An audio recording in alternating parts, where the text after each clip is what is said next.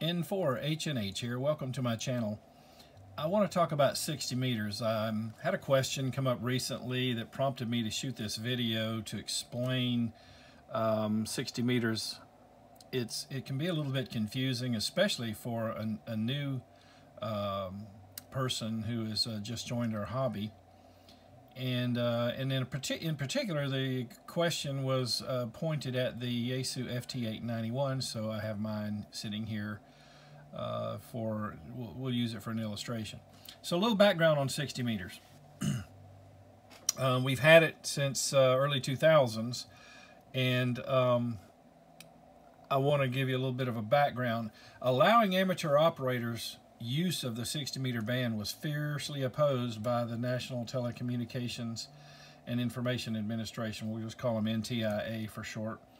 Uh, the ARRL argued that the 60 meter band could bridge a much needed gap for use by amateur radio operators involved in emergency communications when 80 meters is too short and 40 meters is too long. You know, it's that in between range. And those of you who may not have uh, operated 60 meters yet, it is it is really a great band to bridge that gap.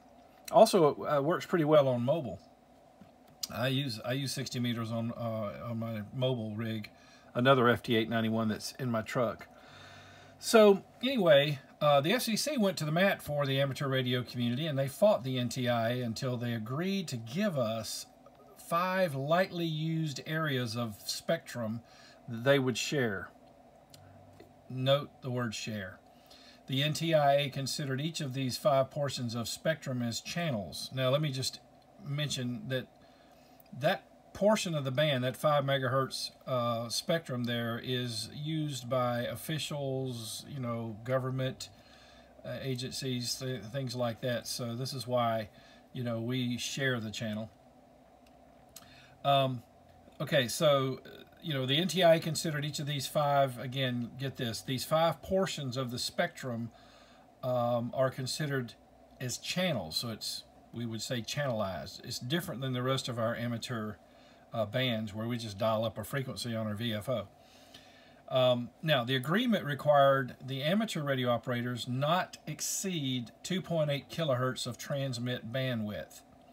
So when we modify an older radio, for example, to operate on the 60 meter band, I've done that with my old F Yaesu FT890, I did it with my FT920.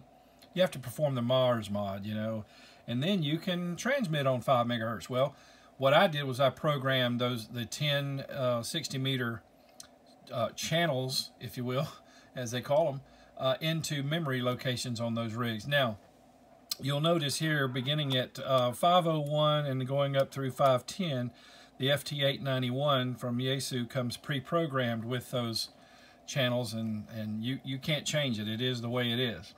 Well on older rigs though this would not be available without a Mars mod and and then again you've got to be careful that you're programming operating uh, the, on the correct frequencies and you know if you're programming them into memory make sure you get everything set correctly.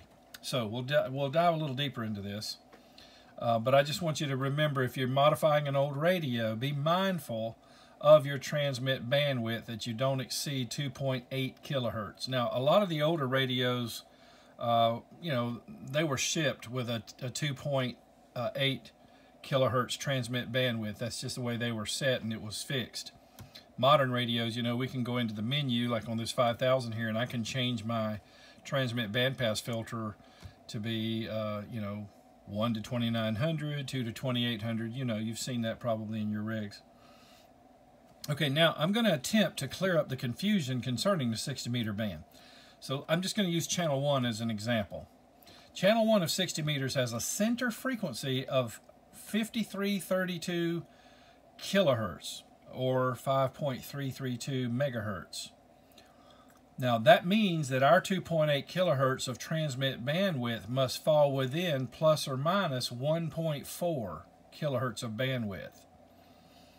For example, our transmit audio on channel 1, upper sideband, must not extend beyond 5.3334 megahertz. That is, uh, take 5.332 there and add 1.4 kilohertz. So it'd be add 1.4 to this 2 here, and that's going to give us 3.4. So 5.333.4. Well, that's a problem if we're gonna if we have a 2.8 wide, uh, 2.8 kilohertz wide transmit audio, which is what we, you know, that's pretty common for all the other HF bands. That'd be, you know, I, I would consider that to be a norm, uh, the, the norm. So that's going to present a problem. Okay, well, just hold that thought. We'll go we'll go forward here. So uh, if we transmit using upper sideband modulation, which is the requirement, um, by the way, on the 60 meter band, let me give you a little background on that. Ham radio operators are the only radio operators that use lower sideband. So all commercial, marine, all the other uh, radio services, when they're using a sideband, they use upper sideband. We're unique in that. Um, that's something I learned today. Just thought I'd pass along.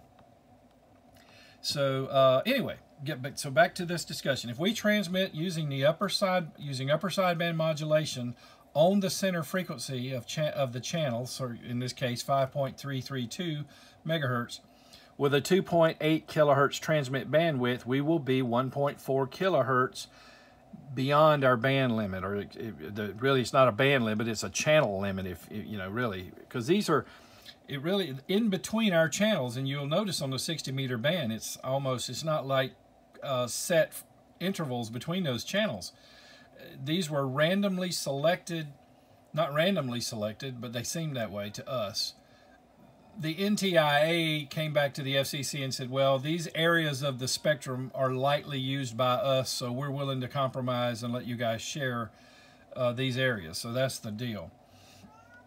So uh, but again, if I'm if I'm if my center or my carrier point, you know, in sideband, we we have a what you see on your VFO is the is the carrier frequency, but you suppress the carrier for sideband, and for that matter, if we're on upper side, if we're transmitting upper sideband mode, we're also suppressing the lower sideband.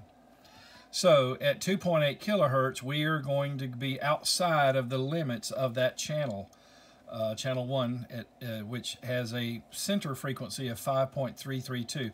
And now this is where the confusion comes. I, I, hang with me here. You gotta you gotta understand the difference between center frequency and the carrier frequency. They are different, or can be. All right, so let me continue. So above and below our 2.8 kilohertz of allowed bandwidth, are portions of the spectrum that are allocated for government use. We cannot and must not transmit in uh, these portions of the 5 megahertz band. If this still seems confusing, all right, let's consider one of the uh, questions on the amateur radio exams. On the 20 meter band, the maximum frequency that we can set our VFO to is 14.347 when using upper sideband. The VFO display is going to indicate where our suppressed carrier will be centered. 14.347. Furthermore, the lower sideband will be suppressed, like I mentioned uh, earlier. So when we transmit, our 2.8 kilohertz wide upper sideband modulation uh, will not extend beyond 14.350. You know, 2.8 gives us a little bit of a buffer there of forgiveness if you if you think of it. We're on 14.347. We're 2.8 kilohertz wide. So we're just shy of 14.350, which keeps us for sure legal. All right, though your radio might be able to transmit with a bandwidth of 3 kilohertz, uh, setting the transmit bandwidth to 2.8 helps ensure that your modulated signal does not extend beyond the band edge. Okay, that's the deal. Many radios from the past have shipped with a with default transmit bandwidth of 2.8 kilohertz, like I mentioned earlier. So I think that's a reasonable bandwidth. I mean, audio quality sounds pretty good at 2.8. I mean, this, we're not trying to sound like, um, or at least I, I don't think we are trying to sound like the uh, the disc jockey on the FM uh, music station. Uh, you know, really, that's actually a whole subject of another discussion, but that's actually uh, not good when you're trying to have radio communications. Too much uh, low end is uh, well, it's it's uh, it uses up a lot of energy that could otherwise be shifted into areas of the audio spectrum that would help you cut through pileups and things like that. That's why you'll hear people thin out their audio uh, in DX. you get a little bit more use of the uh, power that you have that way. Okay, so um, let me move on, trying to keep this video under 15 minutes. The um, So now, let's apply all this background to 60 meters. The official center frequency of channel 1 is 5.332 megahertz, as you see up there on the FT891. Now assume you have an older radio and you're to you've performed the Mars mod and you're going to set it up so you can transmit on 5 megahertz. And let's say as a bonus, you're going to assign the 10 60 meter channels to memory positions in your older radio. To, that way, you know, it kind of mimics how these newer radios have those uh, frequencies already programmed in there from the factory. Now, in order for your 2.8 kilohertz wide upper sideband modulation not to extend beyond 5.3334 megahertz, taking the center frequency, adding 1.4 above, uh, so you wouldn't be able to do 2.8 kilohertz of bandwidth. So what we do, and the FCC has allowed us to do this, is we will actually move our carrier uh, for sideband now. CW stays right here. When you use 60 meter CW, let me refocus there, uh, your carrier is right there at 5.332. But when you're going to use sideband, you have to uh, fix it to where your 2.8 kilohertz of bandwidth starts at a lower frequency because it's upper sideband, therefore it's going to extend uh, upward. You gotta you gotta start lower. So what uh, the FCC has allowed us to do is um, transmit 1.5 kilohertz below what what the NTIA considers to be the center of the channel. Okay, so hang with me on that. This is where it gets confusing center of the channel for CW happens to be also where the carrier is. But for sideband, we can't use that as the center of the channel because our upper sideband is 2.8 kilohertz wide. It'll put us outside of our limit. So what we do is we just shift our carrier point. Uh, where, you know, the carrier is going to be suppressed, but we shift it down one and a half kilohertz. Now, I know that, and that part's kind of confusing because, eh, you know, they said, well, you can't be more than 2.8 kilohertz wide.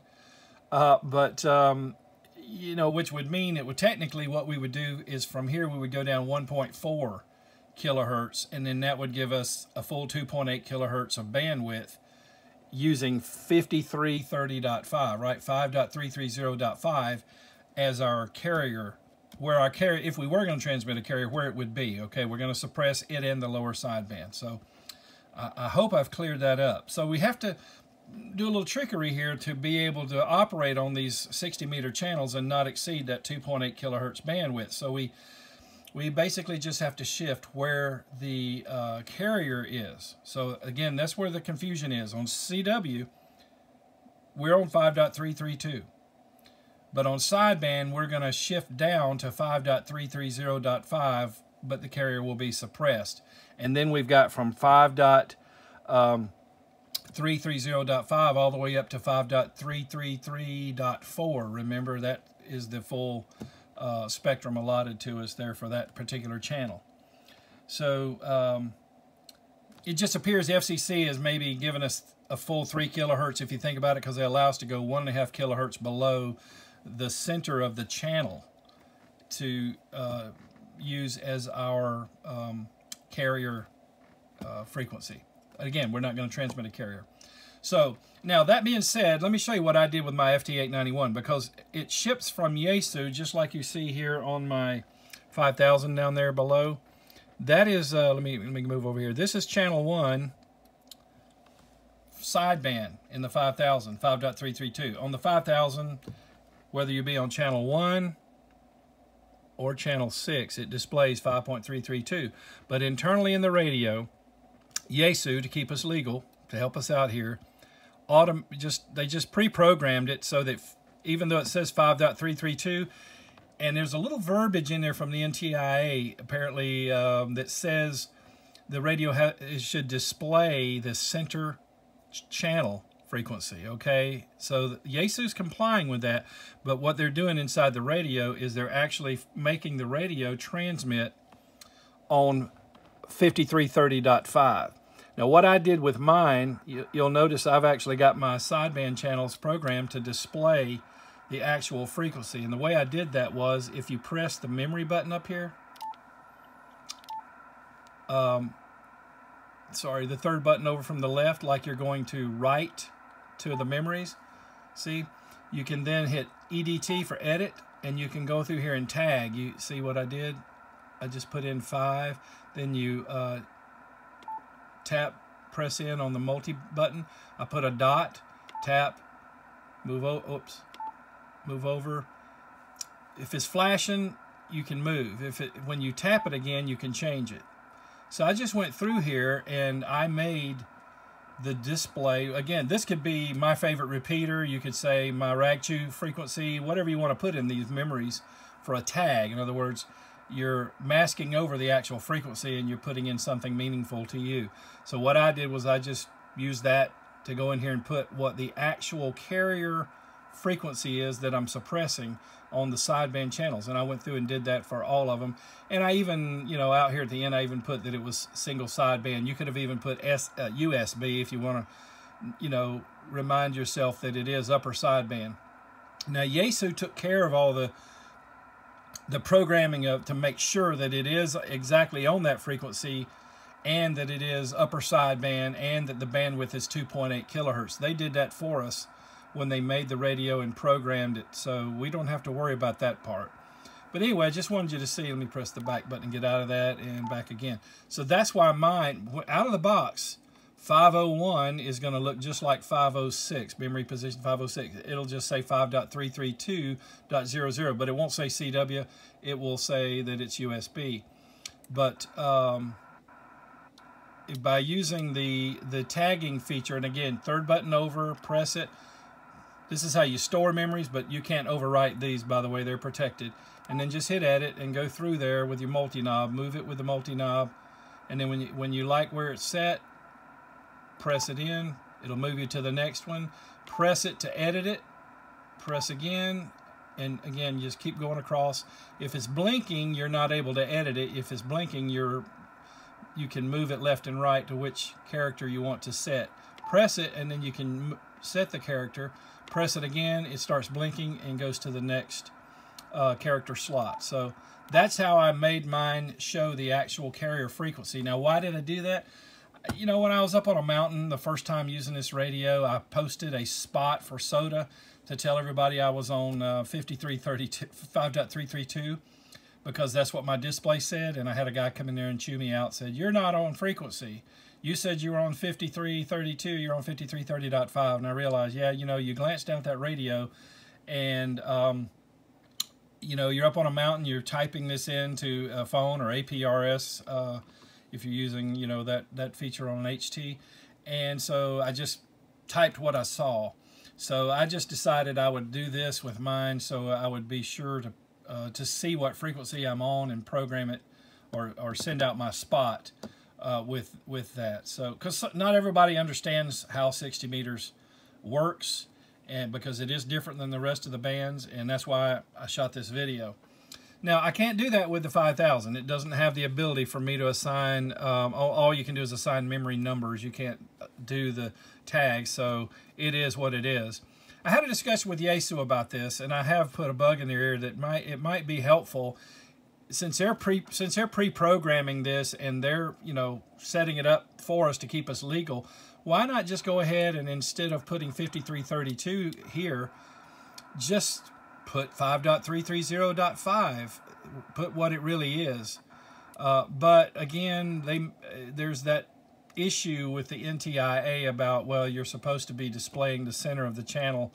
So honestly, I doubt that uh, that anything will ever be done about that. And when you program your own old vintage radio, you can do it do how you want because you're not Yaesu, you're not obligated to meet some sort of uh, international uh, rule.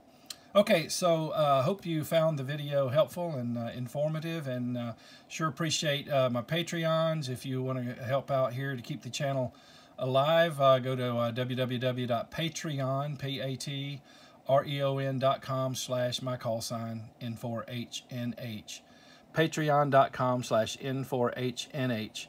And uh, you help me out and I can uh, do more tutorials on uh, other equipment. Okay, thanks a lot. 73 from N4HNH.